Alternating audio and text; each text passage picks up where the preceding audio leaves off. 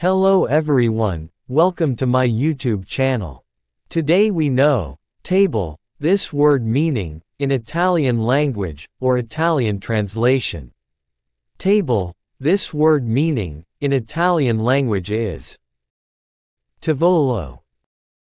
Tavolo. Tavolo.